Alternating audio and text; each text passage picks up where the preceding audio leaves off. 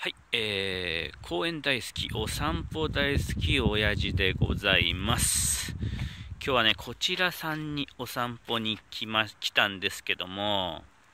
えー、今日はね、ちょっと話したいことがあって、それをちょっと話しながらのね、お散歩をしていきたいなぁなんて思っております。鳥と鯉が迎え、出迎えてくれますね。餌を持ってきたんじゃないかと思って。えーっとですね、さ、えー何について今日話したいかっていうとね、えー伊勢島ミステリー案内、えー偽りの黒真珠。こちらについてちょっとね、お話ししていこうかななんてね、思っております。えー果たしてこれが何なのかっていうとね、えっと、ゲームなんですね。ゲームの話なんです。えー、任天堂さんの出しているスイッチの、えーダウンロード専用ソフトってことで、えー今日がね、1月の25日なんですけども、昨日が正式なダウンロード配信日みたいで、まあ、1月17から先行配信的なことをちょっとやってたみたいなんですけども、そこら辺はね、ちょっと分かりません。で、私がね、なぜこの情報をね、あのー知ったかっていうとですね、えーっと、動画の方にね、いつもコメントくださる方いるんですけども、その方がね、えー教えてくださいました。というのもね、えーまあ、知ってる人は知ってると思うんですけど、私、あのファミリーコンピューターのオホーツクにキューというゲームが好きなんですけども、それを分かってた方がね、あのーこういうゲームが出るよと。で、私ダウンロードしましたよって情報をちょっと教えてもらいまして、えーで、なんで教えてくれたかたかというと、えーそのね、偽りの黒真珠、こちらのキャラクターデザイン、えーグラフィック担当している方がね、新井清和先生さんって方でね、えーオホーツクに級のキャラクターデザイン、グラフィック担当してた方と同じなんですね。えーで、グラフィックも、その、昔のファミコン時代、まさにオホーツクとかね、その頃の、えー画像、映像、まさにファまさにファミコンの絵と音と、そういうのを意識つく意識して作られたゲームっていうことで、それを教えてもらってね、私、それを調べたんです。あ、そんなの出てるんだと思って。で、まあ、調べましたらね、えーまあ、スイッチはもちろんのことを、えー 3DS、3DS 版がどうやらあるらしいんです。YouTube なんかでも動画が上がってまして。ただね、よくよく調べると、その 3DS 版は、えーと、なんだ、2017年の秋頃にね、配信予定だったらしいんですね。で、それが伸びに伸びて、今も2019年なんですけども、それの2019年の1月24日に正式に配信されたと。ただね、えー 3DS 版の方は、今のとところ延期がまだ続いてるみたいで、スイッチ版が先に配信されたんですね。最初 3DS 版って見た時に、私ちょっとあの体験版とかないかなと思って先に調べちゃったんだね。で、ないからまた詳しく調べてみると、延期してるようだと。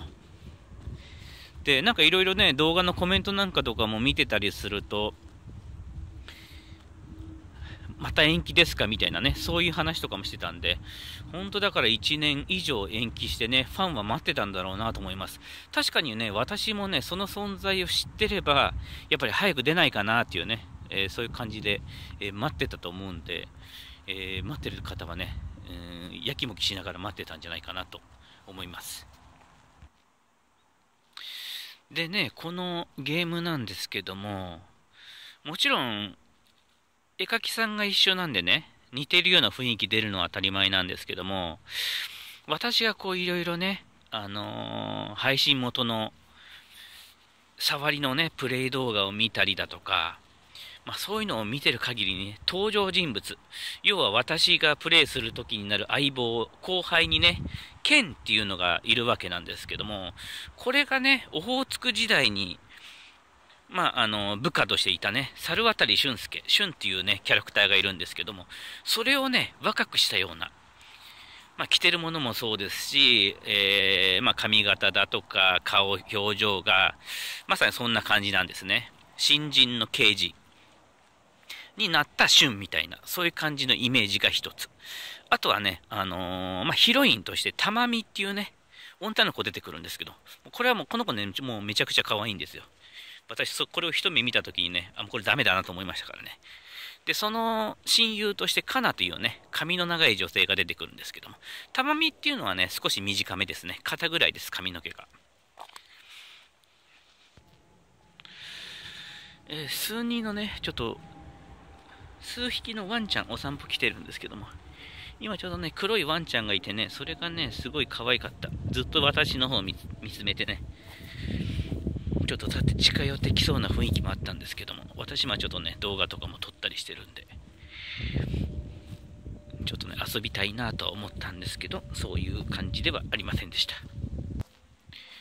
でですね、話をちょっと戻しまして、たまみちゃんとかなちゃんなんですけど、これがね、オホーツク時代にいた、まきことめぐみこちらにね、まあ、ちょっとした顔の表情だとかそういうのは違うんですけども、雰囲気だったりとか、なんていうのかな、2人の関係性とかね、シルエットだとかがね、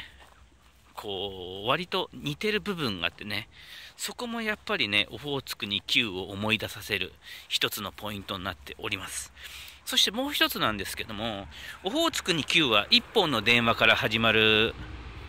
わけなんですね。あの死体が浮かんだと。そう始まるわけなんですけども、今回の、えー、偽りの黒真珠、こちらもね、電話から始まるわけなんです。ただね、スーパーファミコン、えー、違う、えっと、オホーツク2級の発売日が1986年。で、今回の偽りの黒真珠が2019年配信ってことで、もう30年くらいの差が出てんのかな？